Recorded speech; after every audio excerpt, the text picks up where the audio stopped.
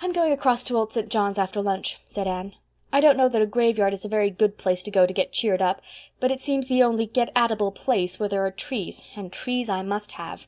I'll sit on one of those old slabs and shut my eyes and imagine I'm in the Avonlea woods." Anne did not do that, however, for she found enough of interest in Old St. John's to keep her eyes wide open. They went in by the entrance gates, past the simple, massive stone arch surmounted by the great Lion of England. "And on Inkerman yet the wild bramble is gory, And those bleak heights henceforth shall be famous in story," quoted Anne, looking at it with a thrill. They found themselves in a dim, cool, green place where winds were fond of purring.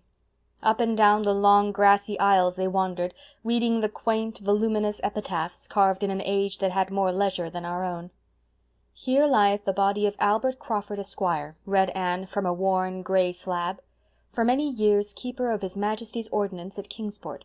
He served in the army till the peace of 1763, when he retired from bad health.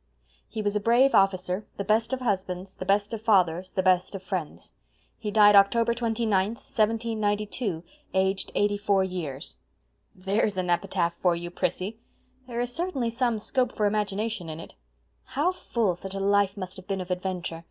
And as for his personal qualities, I am sure human eulogy couldn't go further. I wonder if they told him he was all those best things while he was alive."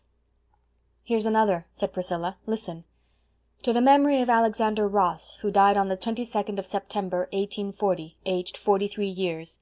This is raised as a tribute of affection by one whom he served so faithfully for twenty seven years that he was regarded as a friend, deserving the fullest confidence and attachment."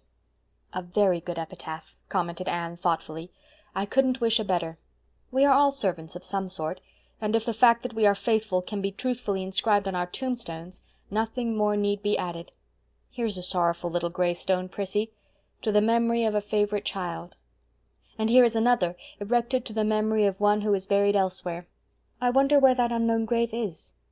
Really, Pris, the graveyards of today will never be as interesting as this. You were right. I shall come here often. I love it already.